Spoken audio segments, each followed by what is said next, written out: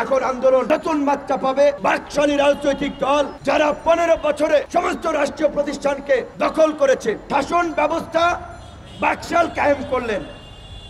সংবাদ মাধ্যমের জন্য যিনি লড়াই করলেন, সমস্ত পত্র পত্রিকা বন্ধ করে নিজেদের পছন্দের চারটি পত্রিকা রেখেছিলেন আর বাকিগুলো বন্ধ করে দিয়েছিলেন। মুক্তিযুদ্ধের পরে আমরা এই ইতিহাস এবং এই বাস্তবতা আমরা দেখেছি। সামরিক শাসন আমলে কু পাল্টা কু ক্ষমতা দখল। জেনারেল এরশাদ সাহেব বিরাশি সালে ক্ষমতা দখল করেছিল।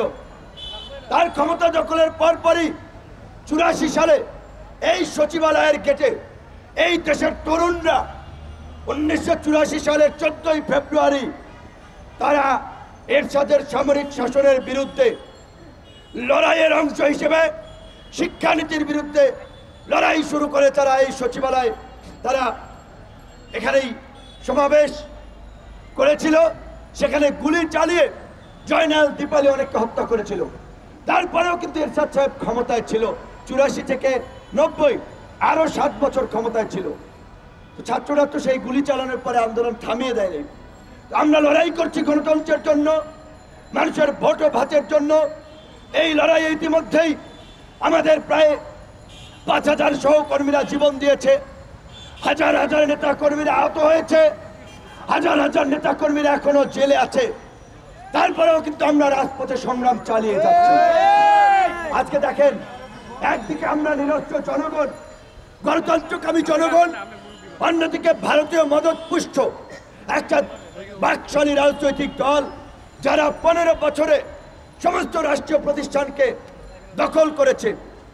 দুর্নীতিবাজ, দুর্বৃত্তদেরকে সরকারের উচ্চ পদে বসিয়ে একটা চাষের রাজত্ব কায়েম করে তারা জনগণের উপরে দমন পীড়ন চালিয়ে তারা আজকে একদলীয় শাসন কায়েম করার জন্য চেষ্টা করে যাচ্ছে।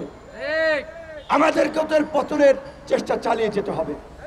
আমাদের জন্য ভালো দিক হচ্ছে জনগণের এই গণতান্ত্রিক আন্দোলনে আমাদের আন্তর্জাতিক বন্ধুরা আমাদের পাশে এসে দাঁড়িয়েছে দাঁড়াচ্ছে। আমরা বিশ্বাস করি এখন আন্দোলন নতুন মাত্রা পাবে।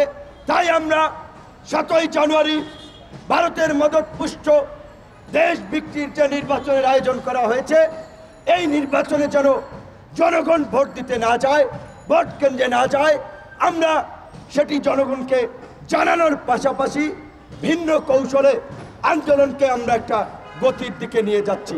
আমরা বিশ্বাস করি, পৃথিবীর কোনো দেশে স্বৈর শাসক টিকে নেই। শেখ হাসিনাও টিকবে না ইনশাল্লাহ দেশ বিক্রির ভারতীয় নির্বাচন বর্জন করুন। দেশ বাঁচান।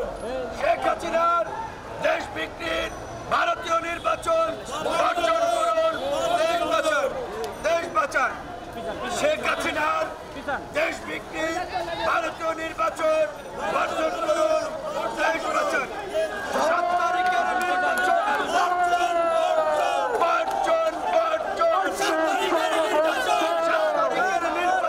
বর্জন বর্জন সাত তারিখের নির্বাচন